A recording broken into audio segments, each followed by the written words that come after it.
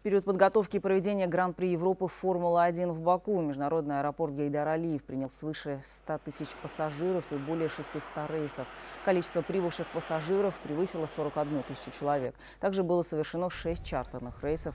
В этот же период 99 рейсов совершили самолеты деловой авиации. Пиковыми днями на прилет участников европейского этапа гонок Формулы-1 стали 14 и 16 июня. Ежедневно в аэропорт Баку прибывало до 6 тысяч пассажиров.